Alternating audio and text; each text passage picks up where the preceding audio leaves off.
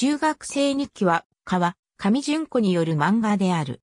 タイトルは、NHK 名古屋放送局制作のドラマ、中学生日記と大英テレビが制作し1983年に TBS テレビ系で放送されたドラマ、高校生夫婦から引用された。2016年第7回アンアン漫画大賞やこの漫画がすごい。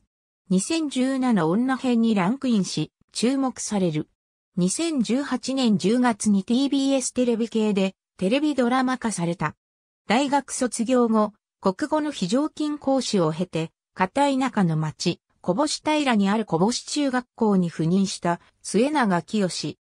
子供の頃からの夢だった教師になり張り切るも、担任となった3年一組の生徒たちには、着任早々から変われたり、教頭、塩谷道代からは、服装のことで注意を受けるなど、どこかやる気が空回りしてしまう。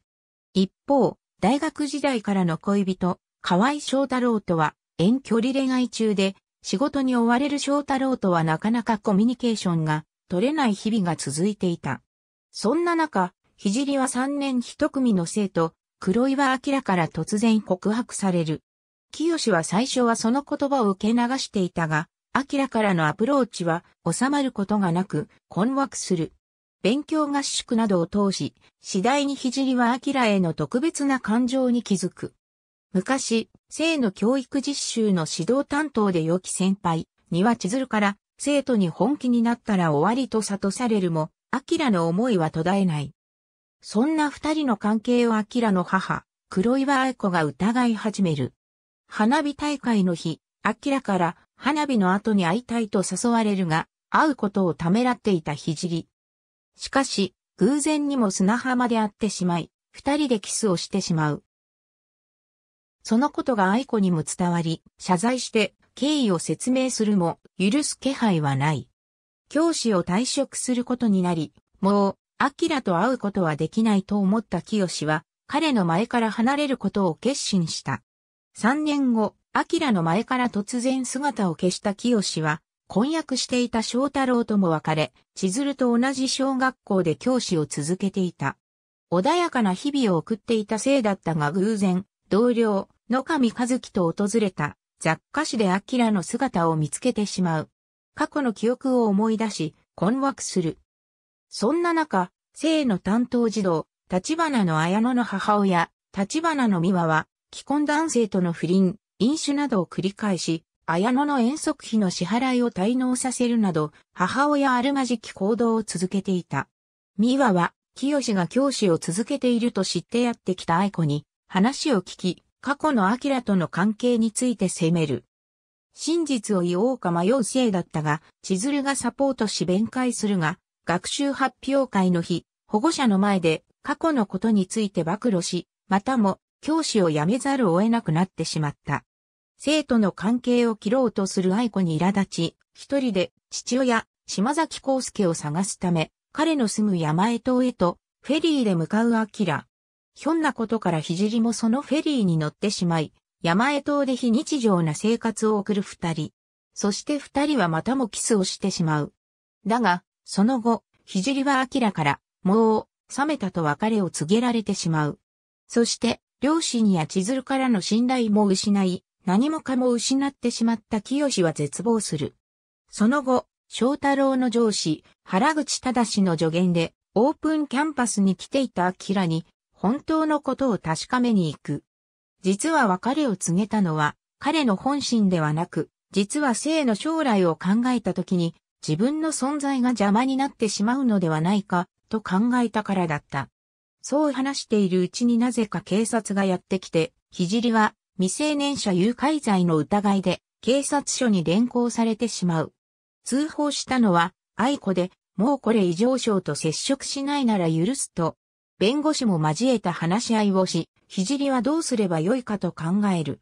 後に聖は明に必要なのは未来だと気づき、明とこれ以上関わらないことを愛子に告げ去る。そして聖は海外移住を決意し、日本を離れ幸せな日々を暮らした。5年後、生の目の前に社会人となったアキラが現れて、2018年10月9日から12月18日まで TBS テレビ系火曜ドラマで放送された。主演は有村架純で民放ドラマでは初の単独主演。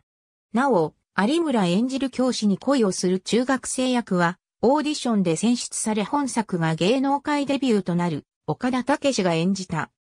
本作を制作したドリマックステレビジョンが放送終了後の翌年2019年1月1日付で TBS スパークルに吸収合併されて解散したため、本作が連続ドラマとして最後の制作作品となった。キャッチコピーは教師としてあるまじき、純愛。2020年5月25日から6月10日まで特別編として夜11時56分から放送された。教師になることが夢だった末永清は中学校教師として赴任する。そこで不思議な魅力を持った男子中学生、黒岩明と運命の出会いをする。しかし、生にはすでに婚約を交わしている男性、河合翔太郎がおり、聖は魅力的な雰囲気を漂わせる明と生涯を共にする婚約者、翔太郎との間で思い悩むことになる。この子に恋をしてはいけないと思いつつも、毎日のように性に恋心をぶつけてくる明から、次第に逃れられなくなり、性の心は日々揺れ動いていく。一方の婚約者である翔太郎は、性にとっても大人の男であり、常に性の味方であり続けているが、あまりに完璧すぎる翔太郎の存在は、性にとっては少しずつ重荷になっていってしまっている。翔太郎が勤める会社の同僚であり、かつ帰国子女及びバイセクシャルでもある原口正は狙った恋や獲物は決して逃さない人物で、聖や翔太郎を翻弄していく。そして息子の明が年上の中学教師に恋をしてしまっていることに危機感を感じている母親の黒岩愛子はなんとか気をそらそうと明に懸命に向き合おうと努力するのだがどうにもうまくいかないことに焦燥感を覚えていく。主要人物勝者死亡死中学校小宮第一、小学校賞の家族関係者その他連続ドラマ。ありがとうございます。